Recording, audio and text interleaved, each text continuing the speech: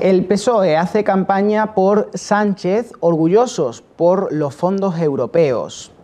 La candidata del PSOE al Congreso número 4 por Córdoba, Esperanza Caro de la Barrera, ha puesto en valor esta semana la apuesta personal de Pedro Sánchez por los fondos europeos. La exalcaldesa palmeña ha querido destacar cómo ha cambiado Palma del Río gracias a estos fondos. Destacaba los 27 millones de euros que se han invertido en la localidad en instalaciones como parques infantiles, el espacio joven, el centro tecnológico, la climatización de los colegios de Palma del Río, la creación de parques fotovoltaicos, la envolvente del pabellón polideportivo y mucho más. Escuchamos a Caro de la Barrera. El Partido Socialista es un gran gestor de fondo europeo, como el gobierno de Pedro Sánchez ha luchado intensamente para que los fondos europeos vengan a España. Y concretamente yo voy a hablar un poco de lo que son los fondos europeos en Palma del Río.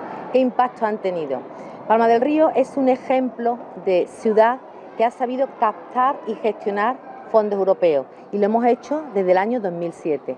Desde entonces hasta ahora han llegado en torno a 27 millones de euros y en estos últimos cuatro años hemos tenido 10 millones de euros de fondos europeos, fondos que como digo han sabido ser captados por el gobierno de España, sobre todo, sobre todo a partir de la pandemia. La candidata número 4 por Córdoba ha estado acompañada por Rafi Crespín, candidata número 3 del PSOE y secretaria general de los socialistas en la capital.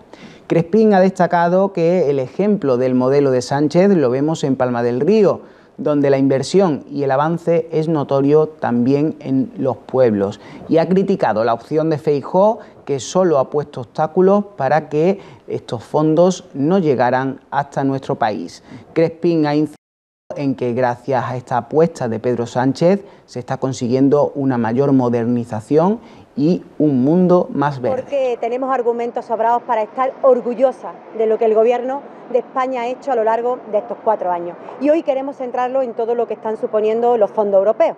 Por tanto, el 23 de julio también va de eso, también va de seguir el camino de progreso y desarrollo de la mano de la inversión de fondos europeos o va de la mano del Partido Popular, que es la mano del retroceso, la mano de no creer en los fondos europeos y también eh, de la mano de no creer en todo lo que significa la Unión Europea.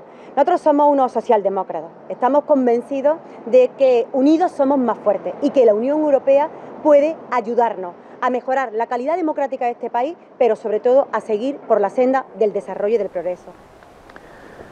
Las candidatas han señalado que el modelo de gestión necesario para la ciudad y para el país es el que propone el PSOE y Pedro Sánchez, por lo que han invitado a la ciudadanía a depositar el voto del PSOE el próximo 23 de julio para, a su juicio, realizar un país más justo, más moderno y más verde de la mano de la sostenibilidad.